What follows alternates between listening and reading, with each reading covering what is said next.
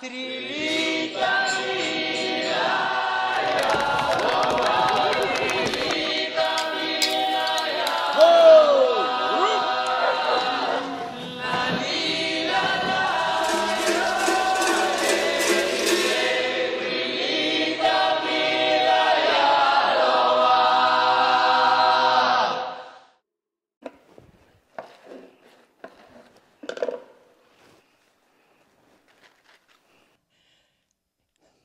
Jaz sem Joži Košak, šivilja Slamnikov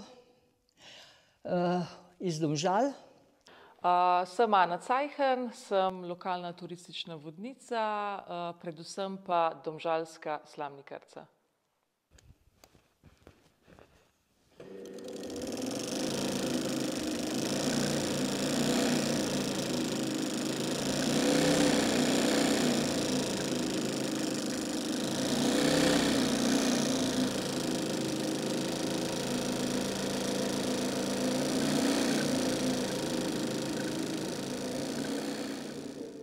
Pri začetku, mislim, ke se začne slamnik šivati, je treba ta prve kite zlikati, ne. Moramo vsako kito moramo prej navlažiti, vsaj en dan, dva dni so najbolj lepe kitke, no, mislim, najbolj dobre kite za šivati. Da so vlažne in v vrečki ostanejo ene dva dni. No, pol se pa začne šivati, se pa začne pri začetku. Moramo imeti model moramo imeti na desni strani na kartonu, mislim na tejle gajbici, pol se pa začne od začetka. Delamo pol glavo, velikosti glave, ker so različni modeli, po številkah je treba glavo že vedeti za številko, koliko mora biti velika. Pol je višina, pride naprej višina, do tiste višine, ke je model. En pot, dva je treba čez, zato ke pol ročno obrnemo, ne, malo pomagamo, da je ta obroba bolj sigurna, ne, da da se bolj poda slamniku, no, ke se pol začne pa krajci, ne. Pol se pa začne pa krajci šivati, zdaj pa odvisno spet, kakšen model ali pa kakšne želje so. Eni krajci so večji, eni manjši. Zdaj je sonce toliko strupeno, da imajo radi ljudje večje krajce, ne.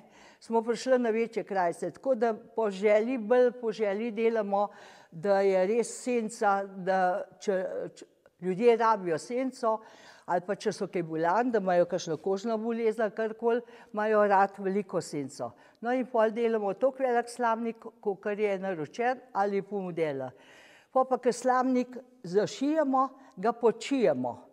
Gremo s kitko malo not počasi, tako da se, da se skrije pod ta zadnjo kito.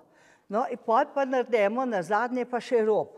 Rob pa dvojni delamo, zato ker na koncu slamnik najbolj trpi, ke se rada, kita se rada zlomi, ke je enkrat suha, rada poka, in če je dvojen rob, ga, mislim vsak, sploh pa moški, ke ga večkrat takole primejo, a ne, se rad zlomi, je bolj trden slamek, bolj kompakten slamnik, ne.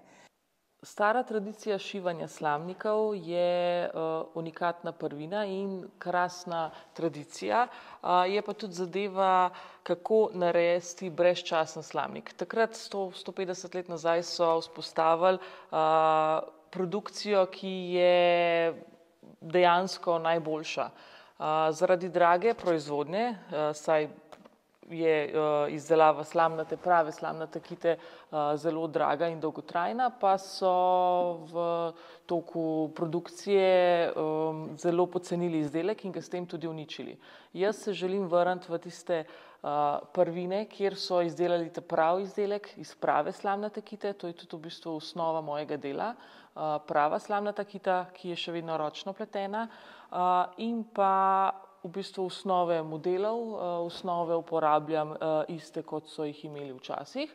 to so te tri glavne forme, ki pa jih potem nadgrajujem, to je pa tista modernizacija v mojem smislu s kombiniranjem slamnatih kit različnega pletenja, različnih širin, tudi z barvami se rada igram in jih kombiniram v, v sam slamnik. in pa krasitve. najrajši pa v bistvu formo oblikujem z, s temi nakloni krajcev in pa s širino. Uh, tako da v bistvu te stare, najboljše uh, prvine uh, uporabljam, izdelujem tudi po starem načinu, ne, na v bistvu mašinci, ki je stara 150 let uh, in je v bistvu res muzejska vrednost, hkrati pa tudi zelo redka dan danes, ker je, uh, sta samo dve firmi izdelovali te mašince. Grossman iz Dresdna in pa Wilcox in Gibbs. In to zgolj po naročilu slamnikarskih tovarnarjev.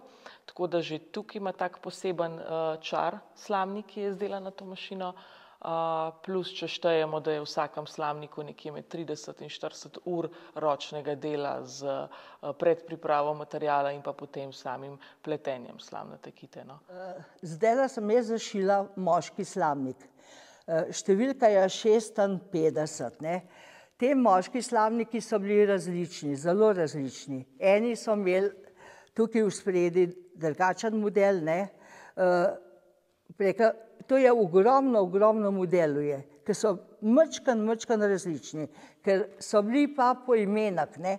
Je bil Kleman, Janas, eh, vse sorte imena smo imeli, ker te slavnike moške smo imeli po imenak, zato ker jih je bilo toliko, da smo se pol, da, da smo raz, razločili, kjer je kašan slamnik, ne? po tistem po imenah se je vedela. Mi, ko smo dobili, mi sem v službi, ko sem imela nalog, sem imela 300-400 janazu za narediti, ne? In pa sem dobila uh, kite, za dva dni naprej smo jih namočile v te kartone, uh, zjutraj smo prišle, smo zlikale, pa začele šivati, ne? Uh, Eh, šivali smo 8 ur, ne, v glavnem, če je bilo kaj naročil več, smo delali tudi popoldan ali sobote. Mi smo delali bolj po zim, da smo imeli do spomladi že to vse, kar je bilo naročenega pošiti, ne, da je bilo to pošiti. Samim šivanjem slamnikov sem se srečala leta 2015, ko smo v sklopu Slamnikarskega muzeja, kulturnega doma Franca Bernika, občine Domžale in pa pod taktirko Joži Košak organizirali šivanje slamnikov. Že prej sem zelo rada vodila skupine ljudi po našem muzeju in se mi je zdelo to krasno, da bom še v praksi pokazala ljudem, kaj, kar v teoriji podajam. Uh, tako da polna elana, polna navdušenja sem se odeležila tistega prvega tečaja. Uh, bilo je grozno, uh, to je bilo tako uh, vsak dan, vsak tečaj, no, borba sama sabo, uh, bom še zdržala, ne bom še, ne, ni to zame, skratka grozno. Uh, vendar sem zelo trmasta po naravi in sem uh, ustrajala do konca. Po osmih urah tečaja sem zašila svoj prvi slamnik, zdel se mi je fantastičen in tisto občutek, uh, da sem uh, nekaj takega naredila, je bil fantastičen. Uh, in potem sem vsak prost moment, ko sem dežurala v našem muzeju, izkoristila za vajo, vajo, vajo, ker v bistvu pri samem šivanju slamnikov je to bistveno, da v bistvu ti dobiš tisto občutek.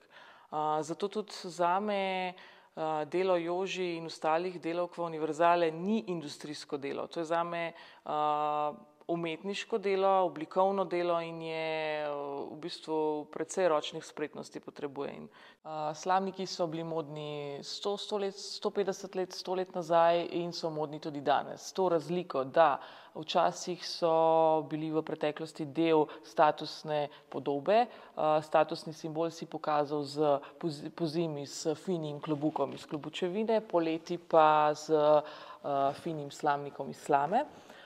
Danes se pa modnost slamnikov kaže v tem, da je to ekološki trajnostni produkt z naravnega materijala. Danes se ljudje zavedamo, kaj damo vase in kaj damo nase. In to je v bistvu modna branža, modne brvi so to pogrebile kot v bistvu produkt zaščite pred nevarnim soncem. In zakaj ne bi to lepo modno zapakirali in ga uh, ponudili. No, potem se pa seveda uh, modne revije in pa uh, street fashion to prineseta iz plaže na ulico. Tako da uh, danes je v bistvu slamnik ponovno modern kos, uh, s tem, da se ljudje počasi, počasi začenjajo zavedati, uh, kaj je poletno naglavno pokrivalo, čemer jaz pravim vsem uh, slamnikom iz celuloze, iz uh, umetnih mas in pa kaj je slamnik iz uh, pravega naravnega materijala.